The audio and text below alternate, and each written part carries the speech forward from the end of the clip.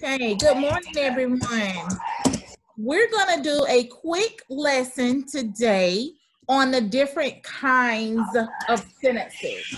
Okay, the different kinds of sentences. Now, we're going to look at the four easy kinds of sentences, the four basic kinds of sentences that you guys learned in second grade. And a good acronym for that is the word DIE, D I I E. D stands for declarative, which is just a statement and it ends in a period. It's just a statement. The Voting Rights Act ended literacy literacy tests, so it's just a statement.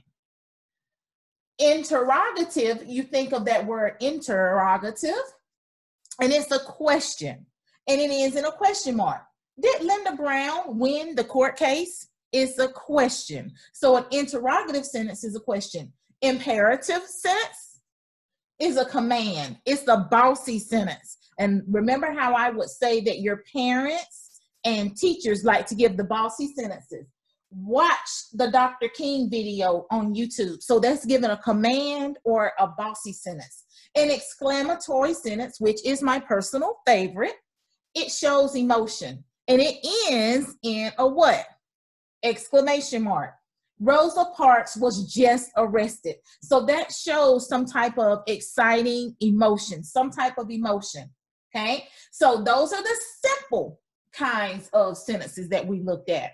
Then we looked at different types or kinds of sentences that are more more challenging for fifth graders to recognize. But remember, in second and third grade, you're usually using more simple kinds of sentences. But by the time you get to fifth grade, remember with our writing, they would like the state, when we were actually going to be assessed with our writing, you're to use more compound, compound and complex sentences. So with you're just adding more details. So when I'm looking at different kinds of sentences, I have three different types here.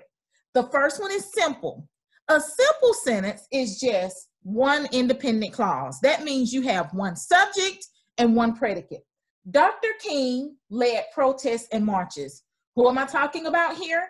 Dr. King. What did he do? Led protests and marches. Okay. One independent clause. Well, complex sentences. I have two parts one part is dependent and one part is independent. So one part can stand alone, but one part cannot stand alone. That dependent, okay? So let's look at my sentence here. While fighting for equality, comma, African Americans were threatened, beat, and even killed. Which part of that is my dependent clause? That means it cannot stand alone. That means it's a fragment. This part here, while fighting for equality. That part is a dependent clause or a fragment. It cannot stand alone. That's why I have to put the comma behind it, but I have to add it to another portion of my sentence, which is African Americans were threatened, beat, and even killed. Now, that portion of my sentence that is an independent clause or a complete sentence. It can stand alone. I could have just that part as my complete sentence and it will still be correct. So I have two parts. One is dependent and one is independent. Okay. Now, compound sentences, I have two parts and both of those parts are independent clauses. But what are they joined with? A conjunction. And remember, when you think of your conjunctions, you think of fanboy. Okay, so let's look at my example. Rosa Parks was arrested for refusing to give up her seat on a bus. That's my first part of my sentence. That part is independent. It can stand alone. I could put a period there and it would be a complete sentence. But I want to have a compound sentence, so I'm going to add another complete sentence to it. And have to have my conjunction because you cannot have it without your conjunction. And she sparked the Montgomery bus boycott. Here, I could just have, she sparked the Montgomery bus boycott. That's an independent clause or a complete sentence. But I'm joining these two sentences together with my conjunction and, and this is what makes it a compound sentence, okay? So let's review one more time. I have four different kinds of sentences. Those are easy. You learn those in second grade. Remember the acronym DIE, D-I-I-E, declarative, interrogative. Declarative is a statement. Interrogative is a question. Imperative is a bossy command. An exclamatory is an exciting sentence or shows emotion. But then you have simple, which is just one complete sentence with a subject and a predicate, one independent clause. Complex, two parts. One is dependent and one is independent, which, look at my example, while fighting for equality, that's my dependent part of that sentence. Amer African Americans were threatened, beat, and even killed. That's my independent part of that sentences. You join them together with a comma. You see the comma there? Next, compound.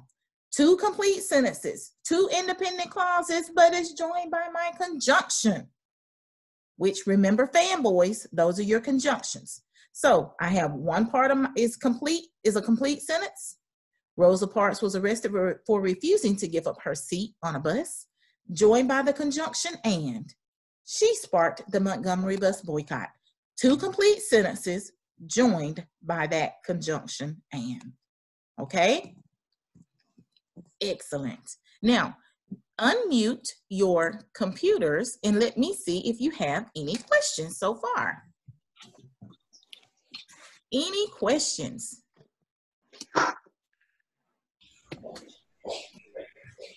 Do you guys have any questions? Any questions? No. Remember, it's easy to remember the four kinds of sentences with die, D-I-I-E, and then you have simple, compound, and complex are my three types of sentences. Any questions before we get into the practice? Hello, how are you, Miss Saunders, today? I am great. I am so sorry that I came in late. No, you're fine. You're fine. Now my number is at 17. How are you, Miss Anderson? I'm good, Miss Dowdy. How are you this morning? Hello, boys and girls. I am wonderful. Hi, guys, Miss Saunders. Do you guys have any questions so far? Can simple um and with and with um a period, a question mark, and a um. That's a very good yes, yes they can because if I look up here, Zion, Linda Brown win the court case. What's my subject there? Linda Brown. What about Linda Brown? Did she? Did, yes, winning the court case. So that sentence there, which is interrogative, is also what? Simple. Do you see? And this here, Dr. King led protests and marches, ends in a period. Zion, is it, look at my period, is it a declarative or is it imperative? Zion. Declarative. It's declarative. So yes, Zion, you can have these simple sentences are either going to be declarative, interrogative, imperative, or exclamatory. But here, I could also make compound sentences that way as well. So you're right, Zion. Yes, they can. They all work together. But remember, fifth graders, when we're doing our writing, um, let me see. Harper, while we're writing, do we want to use simple sentences or do we need to start using more compound and complex sentences? Yes, remember when in our writing, we need to start as fifth graders start using more compound and complex because when we're doing looking at our writing assessment that the state would like to see that we're able to change our sentence structure with writing and make it more compound and make our writing more complex okay Good question, Zion. Any other questions, guys? Questions? Okay, now I would like to share my screen.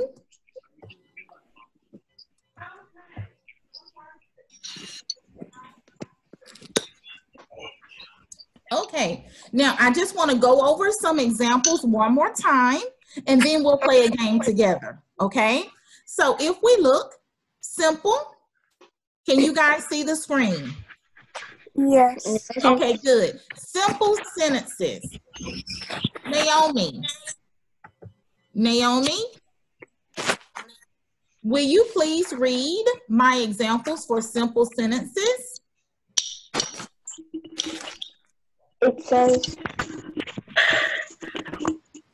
um, the boys went to the park. They like pizza. Very good. I have two examples here, guys. Well, let's look at this simple sentence. I'm looking at the bullet first. Simple sentences contains a subject and a predicate. Remember, one is just one subject and one predicate. They express a complete thought. Thank you, Naomi. The boy went to the park. Who am I talking about here? The The boy. Boys. What did the boys do? Went to the park. Park. Very good. Look at the next example. We like pizza. Who are we talking about here? We We. We. What do we do? like Pizza. Very good. A simple sentence is also called an independent clause. Okay, so let's hop over to the next one. A compound sentence. A compound sentence contains two or more independent clauses. Clauses are joined by a coordinating conjunction. Let's see. What's a good way, EJ? What is a good way to remember the conjunctions that I need to remember? What's a good acronym? Fanboys. Fanboys. Very good. Remember fanboys. For, and, nor, but, fanboys, or, yet, and so. Remember fanboys. They combine two complete sentences. Very good.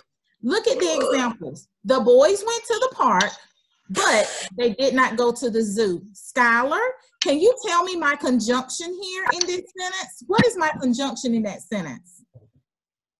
But. But very good. The boys went to the park. That's one independent clause because that's a subject, the boys, the predicate went to the park. They did not go to the zoo. They is the subject, did not go to the zoo is the predicate. Two sentences joined by the conjunction but. Very good. Let's look at the second one.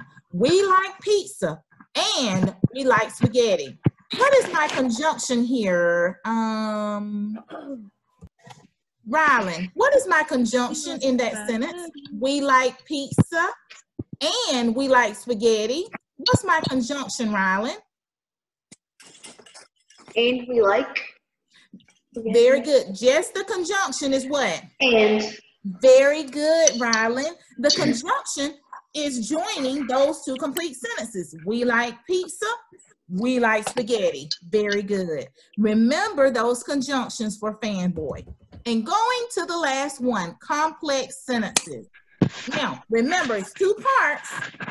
One contains an independent clause, but one is a dependent clause. A dependent clause begins with subordinating conjunctions. Our subordinating conjunctions, let's look at the bottom, are like after, before, because, although, when, since, if, whenever, unless, while, so, that, even though, whenever. Okay, so you have to remember your subordinating conjunctions. And when that dependent clause is at the beginning of a sentence, they always put that comma after it. Okay, well, let's look at the example. Because the boys went to the park, comma, they did not mm-hmm. go to the zoo. Let's see, who can I call on?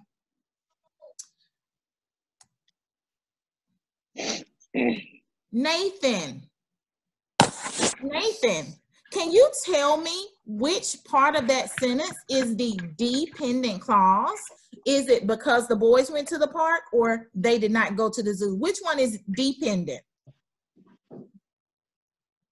The, the boys went to the park. Oh, it. They did not go to the zoo. Okay, well, which one is dependent? Choose one. Is it because the boys didn't go to the park or they did not go to the zoo? Which one cannot stand by themselves? Which one? Because the boys went to the park. Very good, Nathan, because the boys went to the park. That's the dependent clause. So, Emma, that means, bless you, Nathan, that means they did not go to the park, I mean, to the zoo. Is that independent or dependent, Emma? Independent. Very good. They did not go to the zoo is independent. And remember, you have to have that comma there to separate it. But remember when we did these in class, it was a little confusing because sometimes, sometimes that dependent clause wasn't at the beginning of the sentence, it was at the end. And if it was at the end, you didn't have to have a comma there. Okay? So now I'm gonna share our screen again and I wanna play